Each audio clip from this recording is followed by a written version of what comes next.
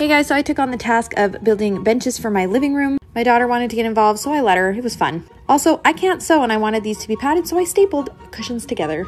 And I used my Weatherwood stain as always. It's my favorite. And here's the final result, guys. Follow me for more DIY. Let me know what you think in the comments.